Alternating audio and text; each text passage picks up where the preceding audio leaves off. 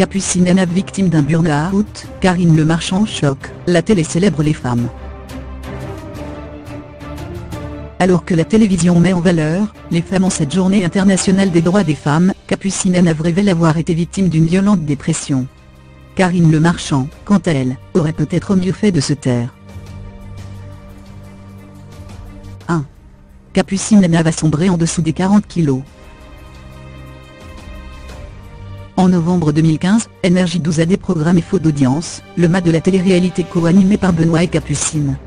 Quelques mois plus tard, la jeune femme a pris congé, s'absentant des réseaux sociaux et de la télévision pendant plusieurs mois.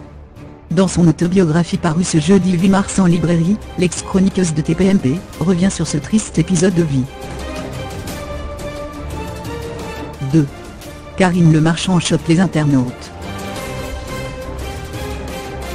Cette journée internationale des droits des femmes, Karine Le Marchand a choisi sur Twitter de rendre hommage aux hommes.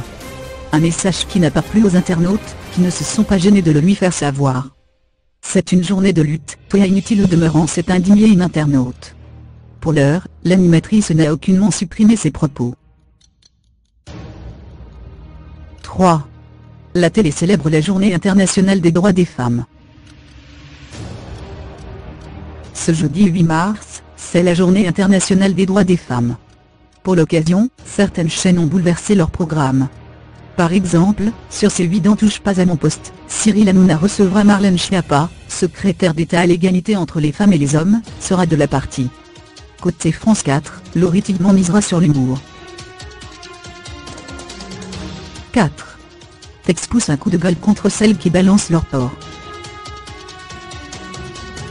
Dans l'interview sans filtre de Télé Loisirs, Tex a poussé un gros coup de gueule contre le mouvement Balance ton port qu'il juge catastrophique. L'histoire de Balance ton port, c'est assis vraiment on vous tape, parlant, mais ça c'était valable pour, on va dire 2%, et c'est les 98 autres pourcents qui se sont jetés dans la brèche, c'est indigné l'ex-animateur des amours. 5. Un acteur transgenre rejoint Plus belle la vie. Grâce au personnage de la jeune lycéenne, Clara Bommel, Plus belle la vie aborde le thème de la identité et a permis à Jonabin Ahmed, acteur transgenre, de faire ses premiers pas devant les caméras. C'est le premier comédien transgenre qui accède à un rôle dans une grande série française. Il s'est confié dans l'émission de Yann Barthès, Quotidien, sur TMC.